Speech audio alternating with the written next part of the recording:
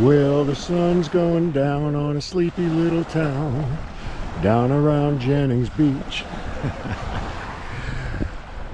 Talking about Jennings, Jennings Beach, oh ho, oh ho, Jennings Beach. So who would who would think to go swimming in mid-October in Fairfield? Uh, well, it's not a bad idea. The air temp is about the same as the water temp, so let's do it.